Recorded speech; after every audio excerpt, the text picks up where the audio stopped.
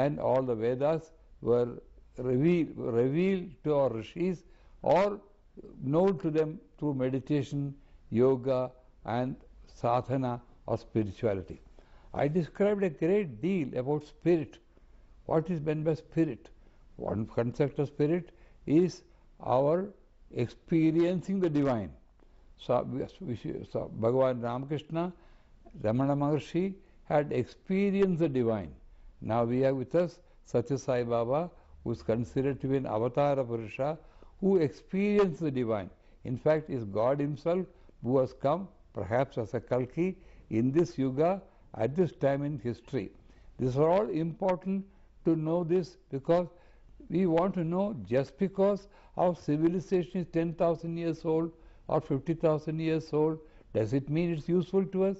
We should only take up such of those things which are scientific, rational, logical, experimentable, experienceable, utilitarian.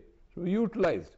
For instance, last time when I mentioned to you that many of the scientific discoveries which are now ascribed to Marconi, to Leonardo Vinci, to Copernicus, and many others are really belong to Pippalada, Bharadwaja, Aryabhatta, Bhaskara 1, Bhaskara 2, Sushruta, Dhanvantari, and hundreds of other rishis who without equipment, without microscope, without any book in their hand, never seeing a human being, they had got this through abhyasa, through what you call meditation, and yoga, and through bhakti, and through sharanagati, and God revealed to them. It's not true of Hinduism alone, even Islam is supposed to have been revealed to Prophet Muhammad by God. He was illiterate, yet he wrote the highest of what you call ethical, moral values in Islam. In the same way, Jesus also uh, is reported to have got all his knowledge. Some say he got it from India. He was 16 years in India. During the unknown period of Jesus, Jesus was in Tibet, parts of Nepal, and parts in India. And he learned all those things which he taught in, in from the Indian rishis. Even Lin Yu Tang has written, Huan Sang has written, even the Chinese civilization entirely owes everything to India.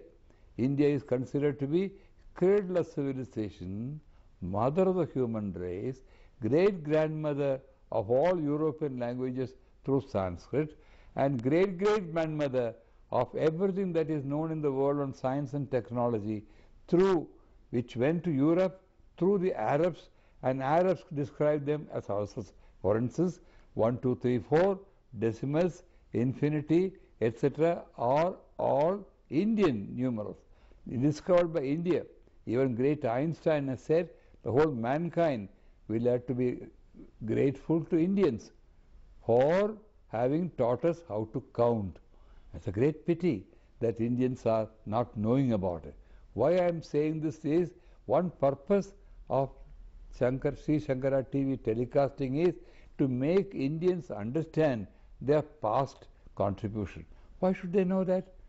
Because in this century, thousands are going to come to India. Satya Sai Baba has got 40 million devotees. Amritanandamayi is reported to have 10 million devotees. Sri Ravi Shankar is supposed to have relate, uh, followers all over the world.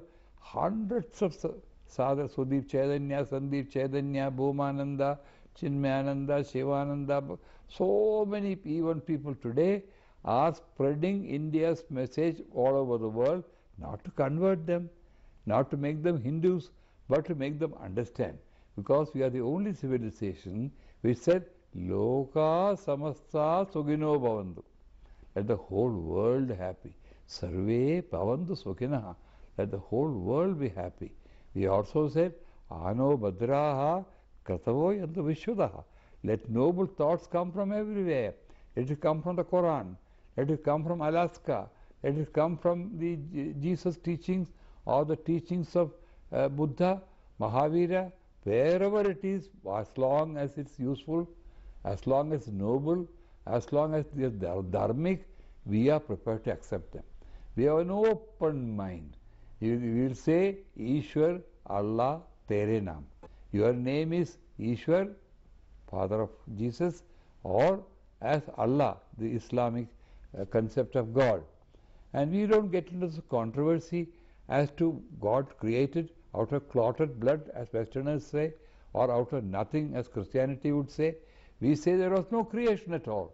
The whole thing existed right from the beginning of time. Even the time is a concept of what you call avidya, a concept called ignorance. The concept of time came only after what is called the lower knowledge.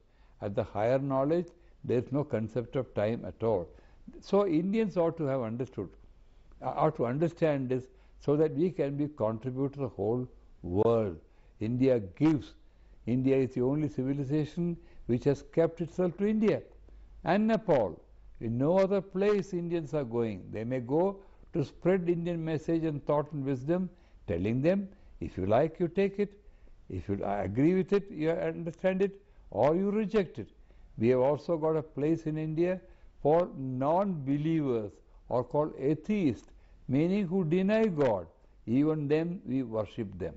And therefore, Indian concepts are very unique, profound, sacred, divine, and what I would call spirituality.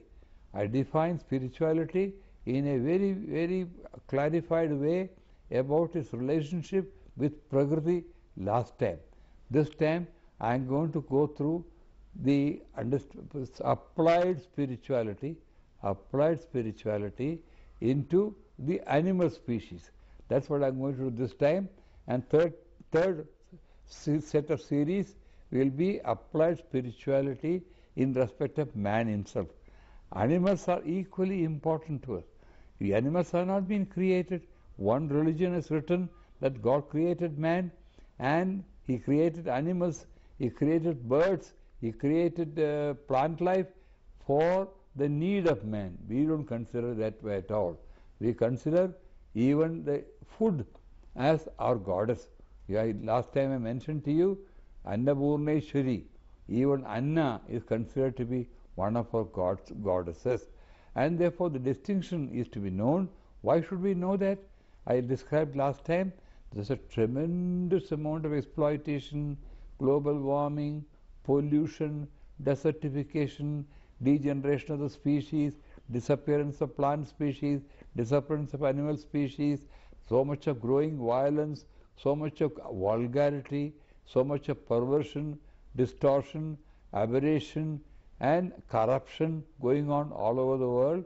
In India also we are all aware that we are one of the most corrupt countries in the world. There is no use of being simply going to temple.